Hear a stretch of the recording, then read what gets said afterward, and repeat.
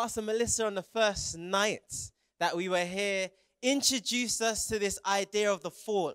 She showed us the first exodus that took place in the garden, the first human exodus that took place in the Garden of Eden. Do you remember the first night that we were here? You, you, you sure? All right. Well, I, I, I'll help you remember just in case. And, and, and you know, she's looked at the creation story. We saw that in six days, God just spoke things into being and they happened. Do you remember that? What? Do you remember any of the things he created? Because you lot don't look like you're with me. What sort of, shout out some of the things he created? Light. Oh, there were balloons to help you guys. It's not that hard. Come on. Humans, all right, all right. But the beautiful thing about creation, the beautiful thing about creation is that when you, has anyone played Sims before? Do you know what? I'm going to show my age. You lot told me I was old yesterday. When I was little and Sims came out, you know you couldn't actually walk among them. You kind of floated over the top in the bird's eye view. You remember? And it wasn't black and white before you lot asked that question. And you used to have to float over the top. But you see, when you look at creation, I picture it that God was just hovering over the face of the earth and he just spoke and said, Listen, I want trees to come up over there. And boom, trees just came up. He said, You know, it looks like there should be some mountains over there. And boom, mountains came up. But when it came to the most important part of his creation, when it came to the thing that mattered the most to God, the most precious, valuable part of his creation, God said, No, no, no, no, no, I can't just talk this thing into being. He had to come out of heaven, he steps down onto earth, and he begins to shape something in the dirt. Do you know what he was shaping? Do you know? You can tell me, you can talk to me. Do you, do you know what he was shaping? He was shaping man. He's shaping Adam. And he breathes the breath of life into Adam. And he says, You're, you're, listen, you're the crowning jewels of my creation. All of this stuff that I've made here, I've made it all for you. Things are perfect, things are good. Adam gets a bit lonely, God creates a woman. They're living a wonderful life, husband and wife in paradise. But you know, people not always happy when things are perfect for you and a little serpent comes along. He slivers up to Eve.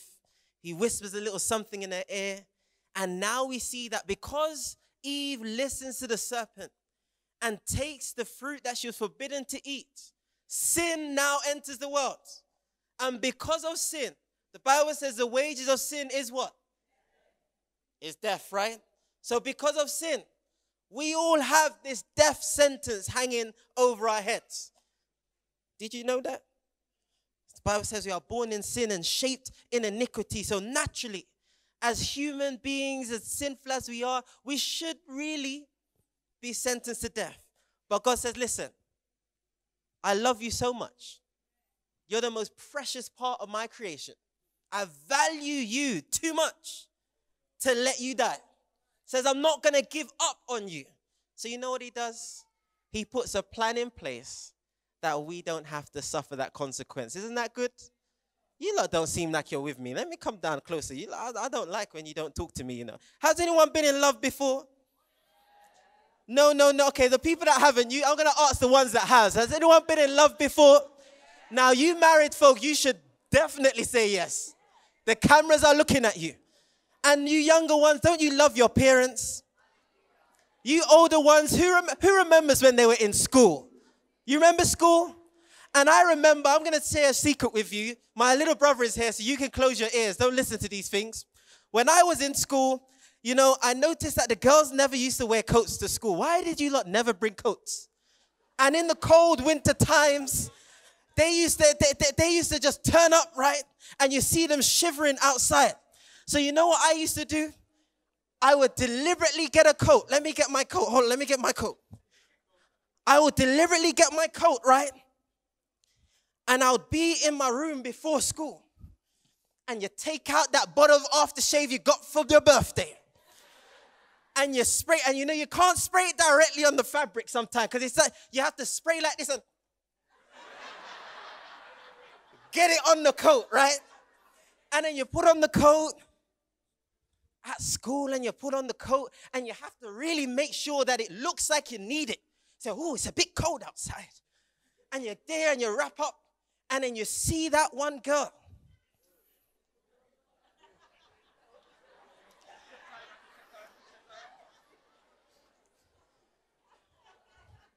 Nah. So you see this girl, right? No, but you got a coat on. Wait, wait, wait. You see this girl, right? You have to come to the top so they can see you, all right? And she's standing there at the bus stop looking all cold. And you and, and, and you come over and you say, It's like, do, do you want my jacket?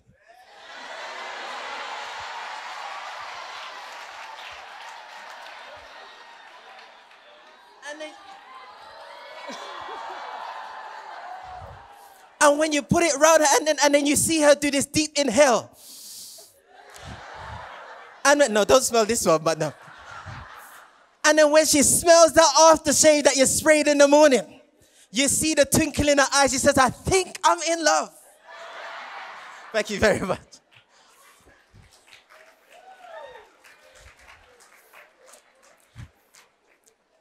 And then and then I remember this is going to show how. Oh, does anyone remember five day pass? The older people might remember this one. Before you had unlimited minutes all the time, we used to have to top up five pound on your mobile. And then you had to call up the number and then they'll give you five days of unlimited calls and texts. So when you get home, please do not try this at home. I'm just, confession is good for the soul, they said.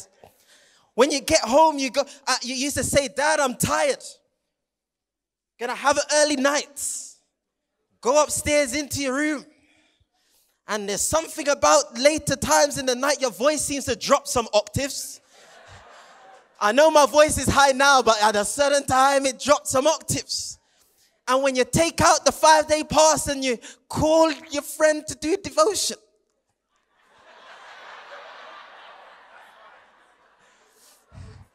And when she hears the bass line on the voice, she says, I think I'm in love. And you know, but on a serious note, some of you married folk, you know, you meet your husband, you meet your wife, and, and, and, and, and you're so overwhelmed by all the amazing things that they're doing, and you're so attracted and so in love, and you value that person.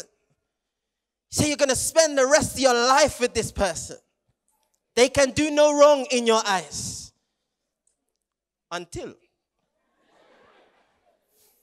five day pass runs out. You don't get any phone calls anymore.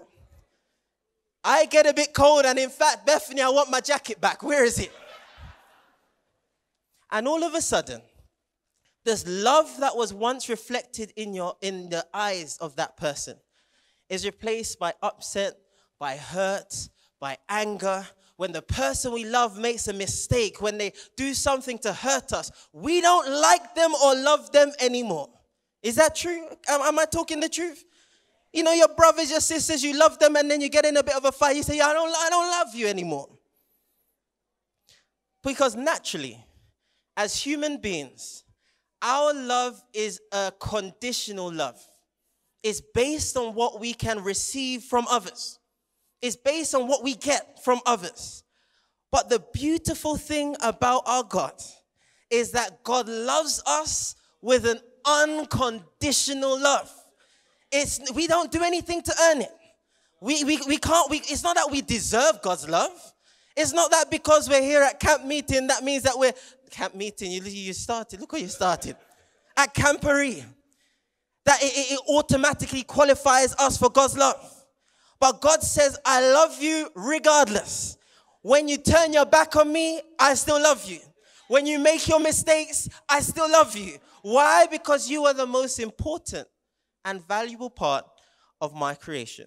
Grab your Bibles and turn with me to Romans chapter 5. Romans chapter 5 and verse 8. Romans chapter 5 and verse 8. Romans chapter 5 and verse 8. And this is my, my favorite passage in the whole Bible. And Romans chapter 5 and verse 8 from the New King James Version simply says this. Says, But God demonstrates his own love towards us, that while we were still sinners, Christ came and died for us. While we were still messed up, while we were still struggling, while we still didn't want to turn up to devotion in the morning, Christ loves us so much that he came and died for us. And he didn't even come and die a really easy, straightforward death. But when you read down there in the passage and you follow the account, you see that Christ is this, this perfect being. That all he did was love and teach and, and, and, and heal and share. They say that you, you know, when you read the passage, can I share the story very quickly with you? I might need a few people to volunteer. You know, if you want to volunteer, just sit on this bench right here so I can call you up quickly, right? Sit on that front bench here and I'll grab you as we go along, okay? So when you read uh, uh, the account in the Gospels, you see that. All right, okay, that's enough. Okay, thank you. thank you so much. the whole camp, all right. So when you read the account in the Gospels, you see that in the beginning, Jesus understands that his time is coming to an end and he gathers his disciples together and they're praying together and the guards come along. See, there's too many of you now. I need to try and make this work. Who's going to be Jesus for me? Whoa. You are so proud. Okay. And I need some guards. Okay. I'm going to take you two on the end. My friend here. Okay, you, come, come, come, come, come. Come, come, come, come, come. Okay?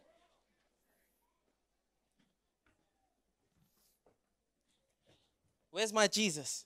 Jesus, I need you to be praying, okay?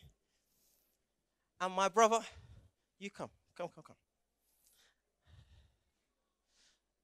You're going to be Judas for me, okay? Hey, people go, ooh, okay, all right. So Judas, Judas comes along with the guards.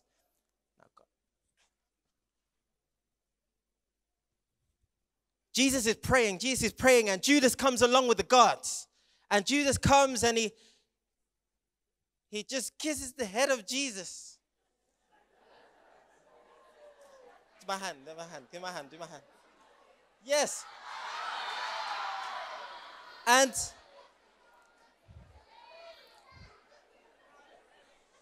The Bible, that's what the Bible says.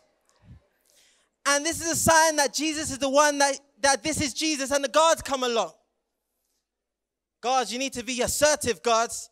And they grab Jesus and they take Jesus away. Judas runs off the stage somewhere. And the guards stay in the corner of the stage just there somewhere. And they take Jesus away and then they bring Jesus into in in in in in in in, in, whoa. Come, come, come. They bring Jesus and they throw all kinds of accusations and all sorts of things on him. And even though Jesus is, is, is, is without sin and, and without void and without shame, they accuse him of all these things and they sentence him to death. And the Jews are carrying on the same ones that he was preaching to the same ones that he was uh, uh, uh, healing, the same ones that he walked among, they, they, they were the same ones crying out for him to be put to death. And my friend Judas, you're now going to be Barabbas. Come. So Pilate comes along and Pilate says, You know what? I have an ingenious plan. Because it's the time, come, come, come. Because this time of year in the festivities, we always release one prisoner, right? I said, These are two people here says, This is Jesus. This Jesus, the one that has loved you and healed you and, and, and, and, and raised your children from the dead, the one that has been preaching and doing nothing but good in your communities, says, This is Barabbas, the one that's been stealing from you, the one that's been bullying all of you guys, the one that has been throwing, you're doing some terrible, terrible, terrible things. Which one would you like to release. Which one would you say, logically? Who would you say for them to let go? Jesus, right? But you know what they said? Let the evil one go. The one that's been torturing. I know you're a good person, really, okay? It's just for the. Okay. Let the evil one go. Let him go. And they said, Crucify him. Crucify him. Crucify. Thank you so much, guys. Thank you, thank you, thank you. Jesus, where you going? Stay. We, we need to get through this in eight minutes, okay?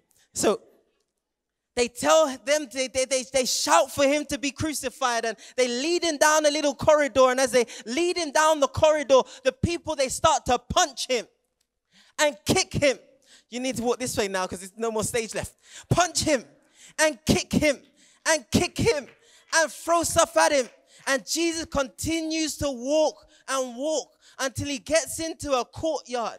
And when he gets into the courtyard, they start to come and they spit on him. And the Bible says they spit until his face was covered. And I know some of you guys, when you think of spit, you think of that lovely, frothy thing that there. I imagine that it was that phlegm that comes from the back of your throat. Some of you guys don't know about phlegm. I used to go to, to I used to go to John Loughborough School, and we used to go to the park for PE, right? When we was playing PE, and there's a park down the road from us, and it's a public park, so there's quite a few people that were playing there. And I, I remember I was playing football, right? Playing football, playing football, coming along, and I went me like a crazy person. Went to do a slide tackle. I slid like this, and I went slip some more. I said, What is that? And when I got up and I looked on the side of my shorts, I saw this phlegm thing. And I took, and you know when you try to shake it off like this? And it was so thick that it kind of hung down like this.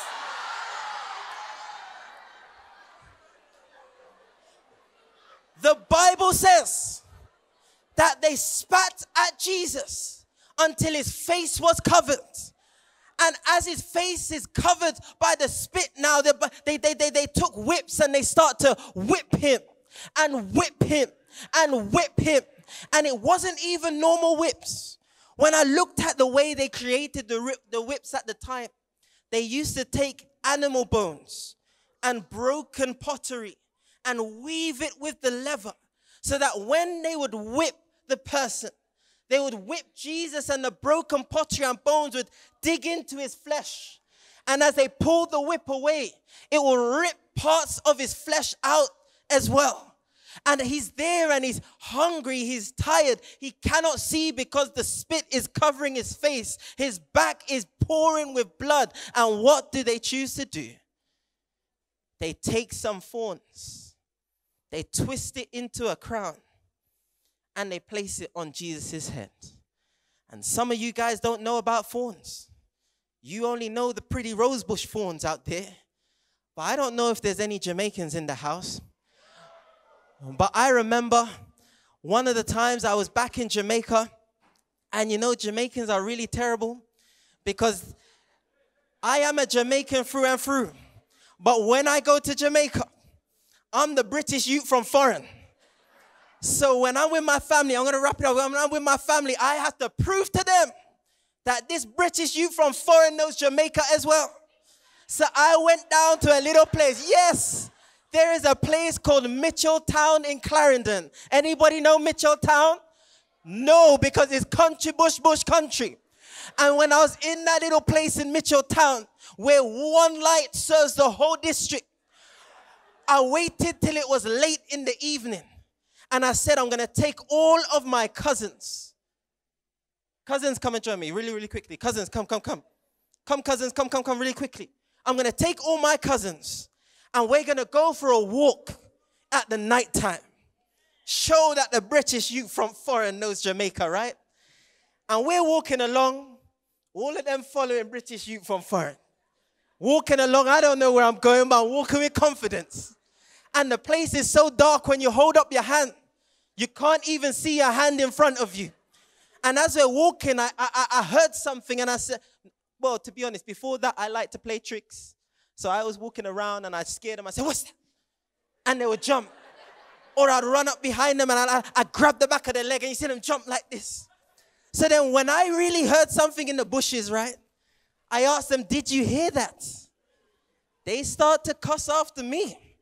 Said, Asher, stop playing jokes. And I said, all right. We walked a little bit further. Jesus, I heard something in the bushes again. And I said, This time, are you sure you didn't hear that? And they got upset with me. I said, Don't worry. I'm going to stand in the middle of all of you so I can protect all of you if something happens. And as I'm walking in the middle, they start to say, Asher, you're so brave in the middle for all of one. They didn't know the middle is the safest place to be. Thank you so much, cousin. Thank you. And as we're walking now, we're walking, no joke, the road went up on a hill like this. I saw something darker than the darkness itself. And it was just moving towards us in a steady motion like that. I was not asking twice.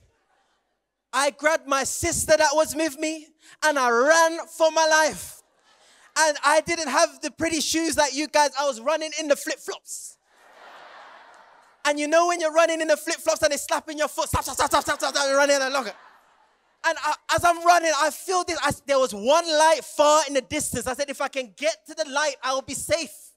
And I'm running for this light now, and I can feel something cutting up on my foot. But I said, I don't want to look behind, so I kept running. And as I got to the light, my feet were in pain. I looked, I looked at my feet and the only thing left of the flip flops was the plastic bit that goes between your toes.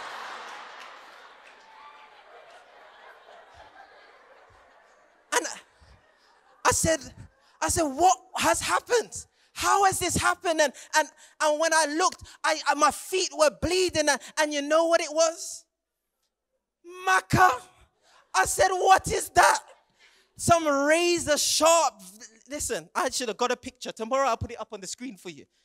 Some razor sharp thorns that were that uh, them things that I don't even know how to describe it. They, I imagine that it was those razor sharp long thorns that they twisted into a crown of thorns and they placed it on Jesus's head and they didn't even just rest it on the top, but they knocked it in so that the thorns would go into his head to keep it in place. And as the blood pours down his face, mixed up with the phlegm, they then say, Jesus, get up and carry your cross. They put the cross on his back and he falls to his feet. They take it off, they drag him up, and they put the cross on his back again. He falls to his feet. He's so weak at this point, he can't see where he's going. A man comes along and decides, Don't worry, I will carry the cross for you. They carry him up the hill. And when they get to the top of the hill now, they lay out the cross on the ground. And they spread Jesus. Are you just going to stand for this one, okay? They spread Jesus out on the cross. Turn and face these guys for me, all right? They spread Jesus out on the cross. And I know some of you guys, I've, I've seen some of the tent pegs. You seen the tent pegs outside? The big ones for the kitchen tent. They took some big old tent pegs like that and they drove it through his hands. It ripped through his flesh. It cracked through the bones and went into the wood behind. And Jesus shouts out in pain. Can we help Jesus shout? And all he can do is turn his head to the other side and watch them do it to the other hand, rip through the flesh, crack through the bone, and into the woods. And then they come and they do the same to his feet, and then they lift up the cross and they drop the cross into the ground, and the shock wave goes through his body. And all of his weight is hanging there now. And, and, and, and he says, Listen, I, I, I'm so thirsty. I just need something to drink and they turn around and they give him a bit of vinegar wine. And some of you guys don't think that's deep. I played a trick on my uncle one time. I, I, I tried to, I, you know, malt vinegar, the clear one.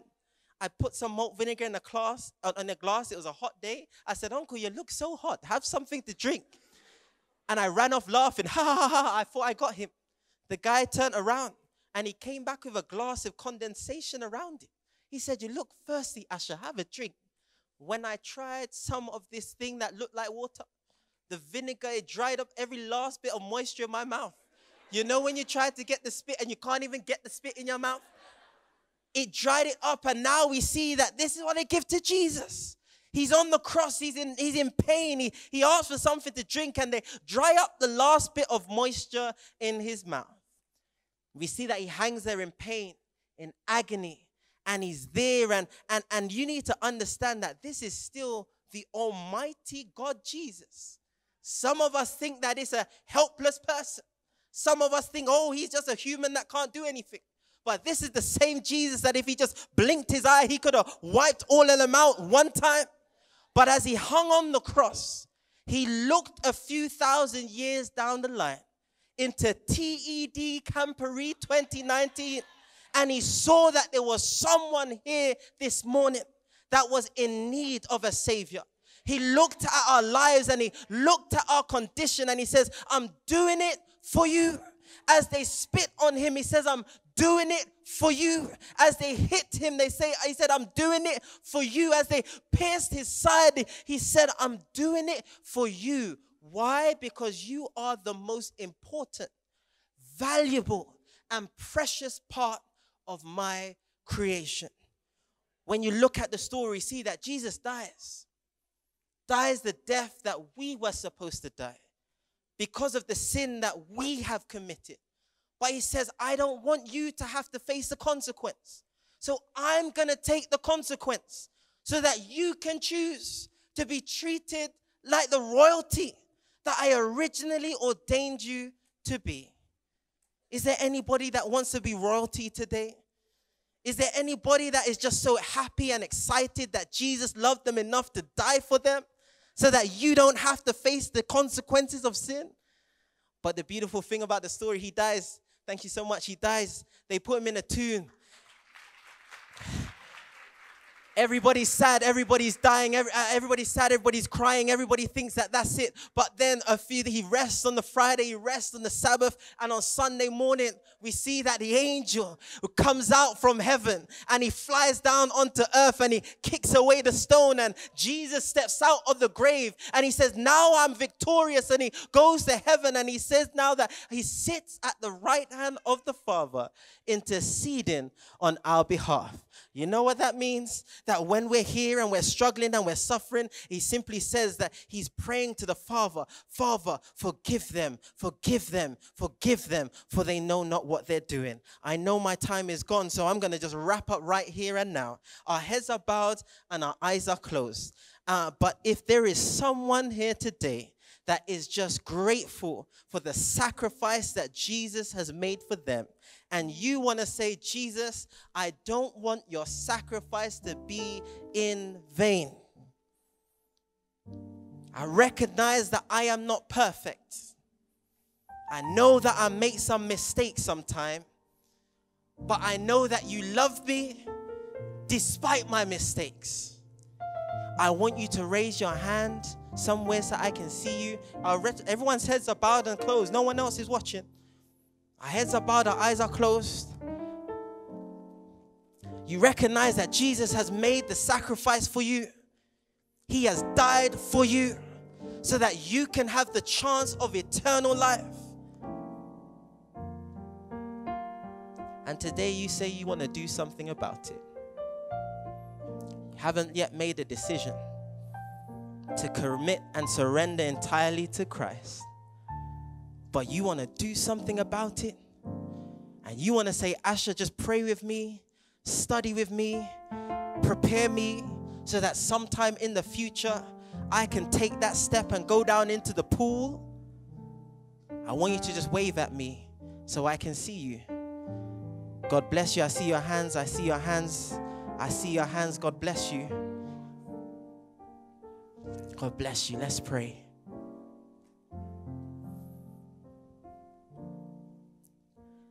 The Savior is waiting to enter